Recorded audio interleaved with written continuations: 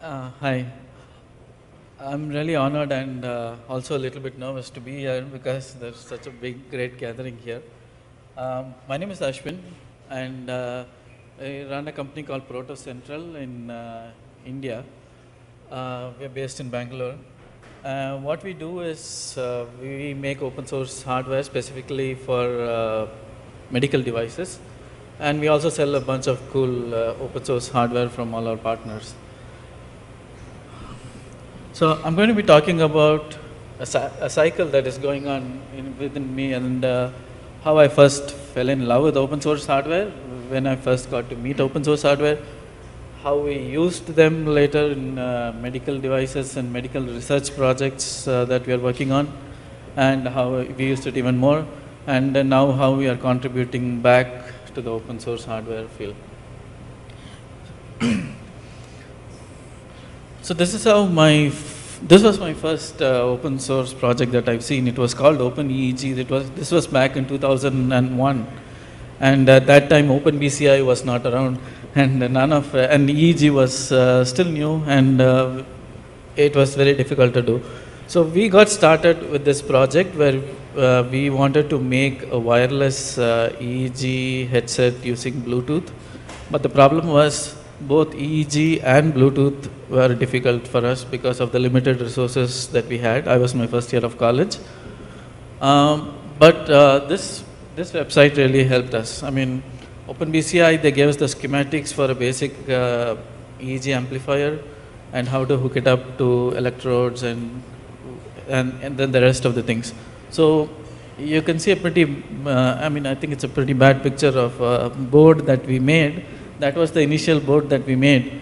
And uh, since we didn't have resources or money to buy boards from OpenEEG, we made our own board. I mean, um, that board that you see there is the EEG six channel EEG amplifier, and uh, I didn't have access to Eagle even at that point. So, I mean, you wouldn't believe that I actually drew the PCB out on Microsoft Paint and then uh, uh, etched it out of copper. Um, and the really ugly looking box that you see on top is our uh, enclosure, if you can call it that. So, uh, what I mean by the second arrow here is that this started my journey in open source hardware. It also got me into biomedical instrumentation. At, at that time, I was doing my uh, college in, uh, in software engineering, which was completely different from uh, biomedical engineering. But finally, I got into biomedical engineering, and that led to my uh, even my thesis was on uh, wireless uh, EEG, and it was received quite well at the time. So the next thing I'm going to be talking about is uh, uh, so what I'm, we are working on a lot of projects which use open source hardware in a, in a various fields. Um, but today's talk is going to be on medical devices. So I'm going to be talking about two projects that are the most recent. We worked on a number of them, uh, more than 10 of them, but uh, two of them which are more recent and which are uh, more meaningful. Uh, so I apologize if anybody is grossed out with the video here. Um, so what we've done is uh, pancreatic cancer. I think everybody knows uh, pancreatic cancer is a very common form of cancer, and uh, I think pancreatic cancer got popular because uh, Steve Jobs died of it, and uh, everybody got to know what pancreatic cancer was. Um, the operation for pancreatic cancer is called Whipple's uh, procedure, and what it involves is resectioning, or just, uh, or in cru- put it in crude words, cutting off the part of the pancreas that is cancerous, and then tying the pancreas. The pancreas is is filled with an amylase fluid. So when you cut off a part of the pancreas, uh, then the fluid starts leaking. So it's sutured back to the stomach or the intestine so that the fluid doesn't leak. And um, I've got a quick uh, video here um, which shows the, it's not too clear. I'm sorry, I can share the video with you if anyone's interested. Uh, what it shows is uh, the doctors uh, suturing the pancreas back to the.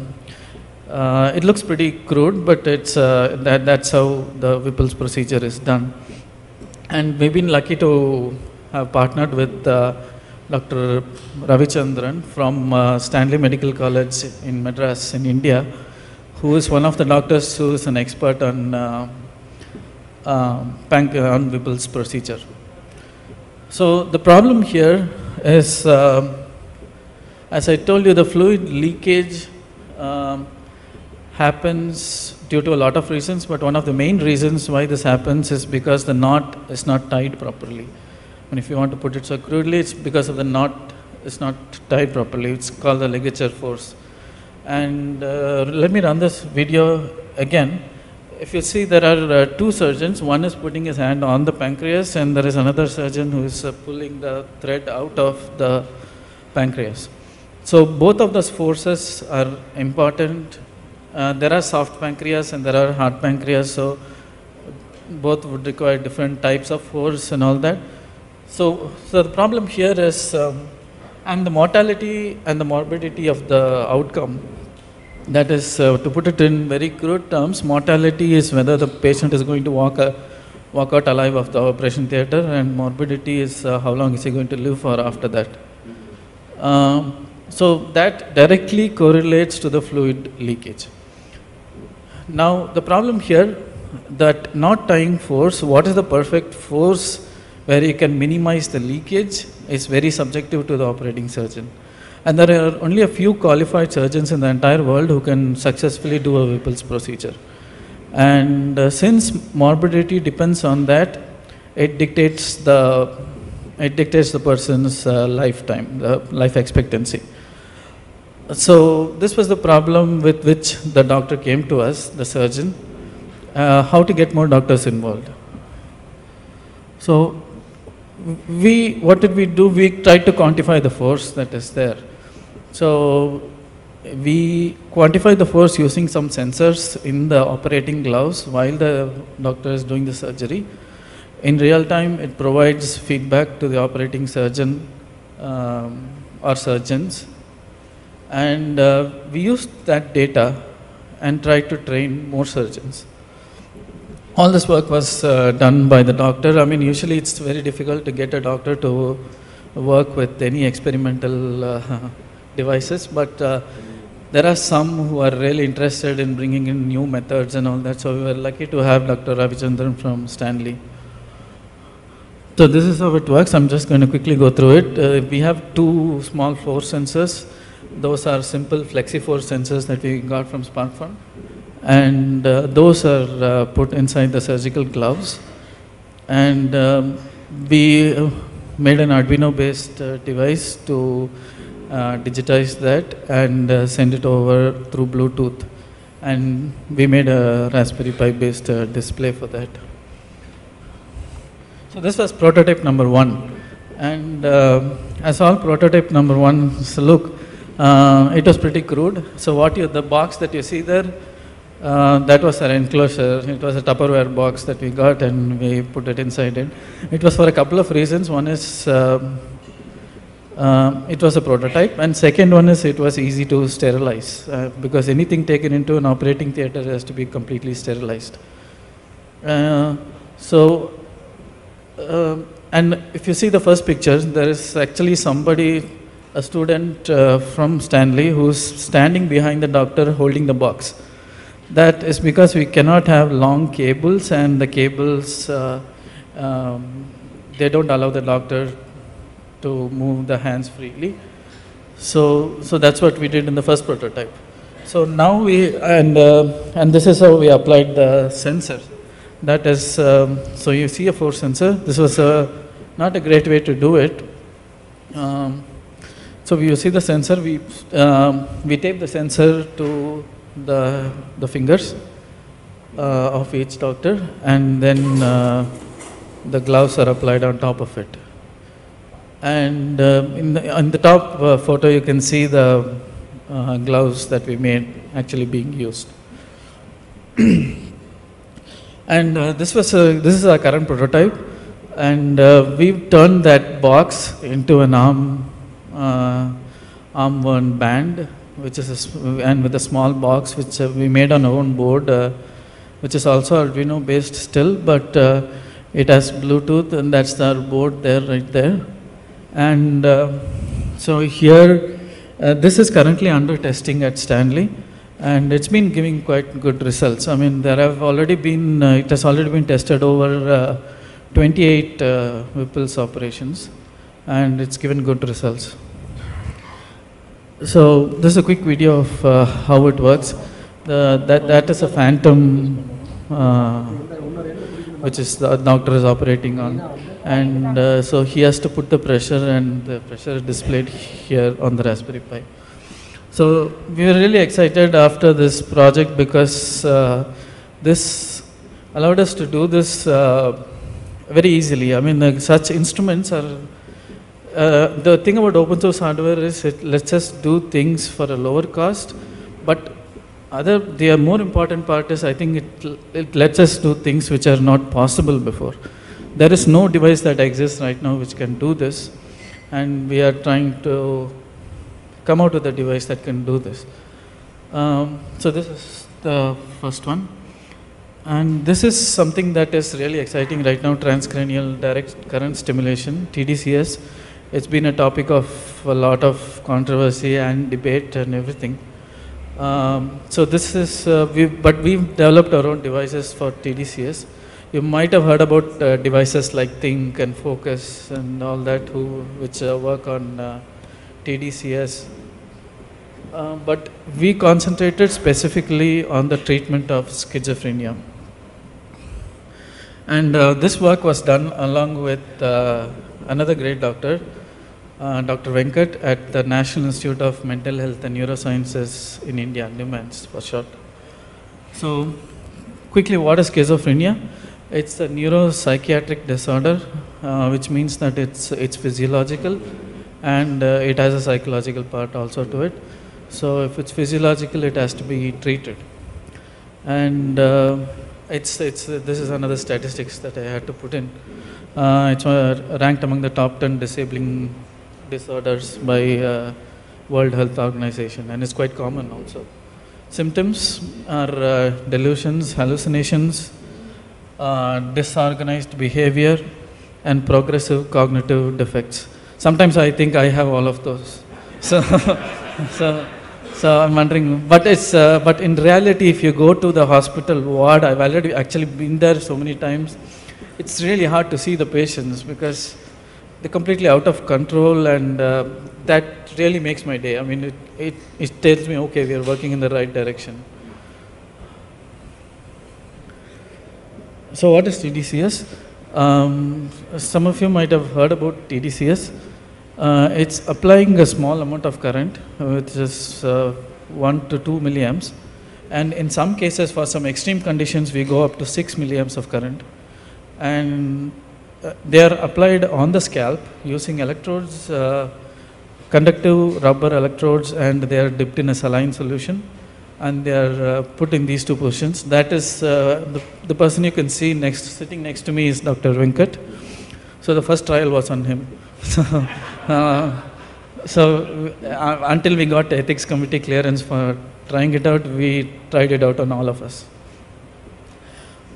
Um, and one more important thing that I uh, forgot to mention was that the wireless EEG, what we developed in the beginning, was for uh, predicting the occurrence of an epileptic seizure.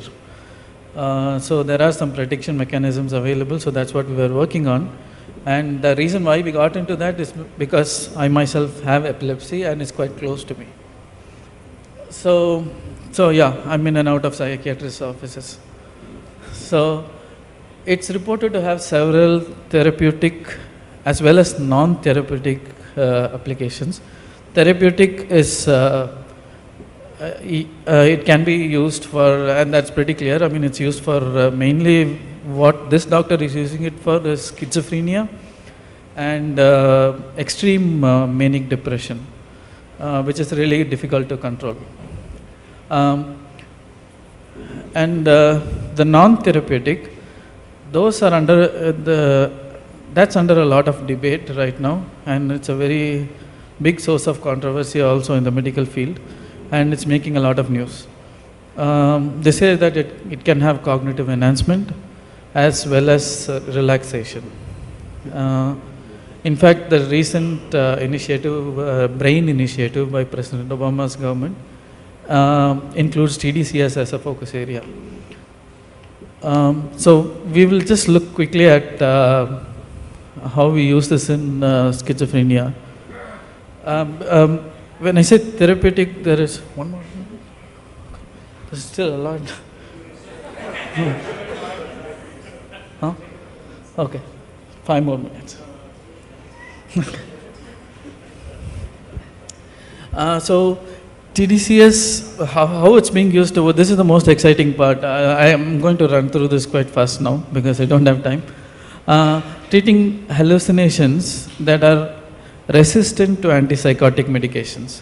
So this was pretty exciting because what antipsychotics cannot do, TDCS was able to do. And uh, the most uh, common, I don't want to go into neuromodulation and neuroplasticity because uh, we're running out of time. Uh, but what it requires is precision waveform generation of the current uh, at the proper place. And uh, the problem here was there are TDCS devices available, uh, but uh, they are not programmable to the right waveform and uh, they're, they're just prohibitively too expensive. So this is the device that we made. It's also based on a SAM processor. And we made a display uh, for controlling and monitoring the TDCS session. You can see the electrodes over there. This cost us uh, less than $200 compared to uh, another commercial system which was $7,000. Uh, I don't know why current control has to be so expensive because if the, the electrical engineers over here would agree with me that current control is a basic electrical circuit. Um, so uh, quickly some experimental results. Um, what we placed it in a place called the DLPFC, which is the prefrontal cortex. Uh, for testing the system, we tested out the cognitive capabilities of the system. So we had the two electrodes placed in the two positions given there, um, and some tests were made. That is pre-TDCS and post uh, session. So pre-TDC, uh, so the test is similar to a memory memory game that we play. It's a, it's called an N-back test. Um, so uh, it's it's a sequence of numbers that uh, appear on the screen, and uh, the software called E prime is used, and uh, then we measure uh, how long the how many numbers the person can remember, and the reaction time. So the two parameters here are reaction time and accuracy, how accurate and how uh, react. So you can see some clear. This was data provided by NIMHANS um, after the experiment. So you can see that there is a clear difference between before and after uh, TDCS application. So, so this excited us even more, and we started. uh, We've now started exploring other aspects of neurostimulation, like uh, TFUS, which is focused ultrasound, um, which is really in the experimental stage, and uh, also auditory neurostimulation. So what did we do even more? I mean, so we made a patient monitor. A patient monitors are pretty expensive. So what we did was we have made this hat, HealthyPi. It's called HealthyPi. Uh, for the uh, Raspberry Pi. So we've got a HealthyPi, we've got a Raspberry Pi, and we've got a display, and that's what I've got uh, here. And uh, I'm sorry, just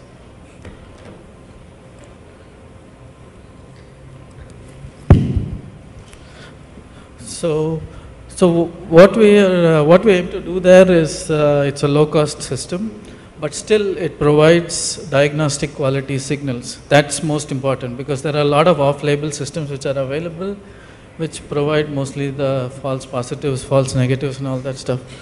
So it's completely open source. You can't see the GitHub link over there, but uh, it's open source. It's there on GitHub, and we've given instruction on Hackster. We use Hackster.io for our uh, documentation. Uh, so here uh, we just have a video of uh, how it compares with a normal Welch Allyn uh, um, patient monitor, and uh, we, we, we got a very good correlation with that. And this is something that is, this is the main application that we're looking at, which is telemedicine. How this can be used in uh, remote uh, villages, especially in India, who cannot afford a patient monitor, cannot afford a patient monitor, and uh, this is, we are not saying that we, this is a medical device, we are not FCC or FDA or anything certified, but something is better than nothing. So there's a live Plotly feed uh, which is going on. So some of our contributions, uh, TDCS, we are planning to open source it once the results are there. And open pressure is the first uh, surgical tool that we talk, spoke about. We've used it for other applications also, especially intracranial pressure monitoring. That is ICP, which is uh, during neurosurgery. And uh, I'm- need to talk also about uh, what could go wrong. And uh, one thing is that you could. Uh, okay, sorry. Just- yeah. So yeah. So just what can go wrong? Because this is, I think, I think it's very important. That's why I'm not skipping this slide out. Um, open source and medical uh, don't go well together because uh, there are always medical standards to be followed and everything. And uh, the misuse of TDCS is another uh, uh, very interesting thing because if you don't know where to put the electrodes and you put it somewhere be, uh, other than the extracephalic, that is, uh, other than the head, you could end up with a, even a cardiac arrest. So it's it's pretty powerful, but it's also we'll have to do more. Uh, uh, it has to be used responsibly. So other possibilities, false positives and false negatives. These are, I think, the uh, material of which uh, many lawsuits are made, and uh, misdiagnosis. And so, if the instruments are not calibrated properly and if they're not used properly, for example, an electrode is not placed properly, then it could give false positives. Um, so, the point that I wanted to make is that we've used Raspberry Pi as our display. So, this has become a new scientific instrument. So, instead of spending a million dollars buying a scientific instrument, we've used Raspberry Pi for all these three applications. So, final slide. Um, so, open source hardware has allowed us to explore the unexplored. So, it's not just about low cost, it's just that it's opened up new, new avenues. And uh, we've handled important medical problems uh, where uh, it has definitely made a difference. And uh, we also need to remember that uh, more power, more responsibility. So, I wanted to talk about the cycle again. And uh, I put it in a cycle because the cycle goes on, and I'm still falling in love with so many of uh, so much open source hardware, and uh, the journey will definitely continue. And some of the things that we're working on currently is uh, NIR spectroscopy, and also functional NIR for brain mapping, and uh, how to make those devices cheaper and more accessible. So I guess I'm out of time. I'm sorry to take too much time. Thank you.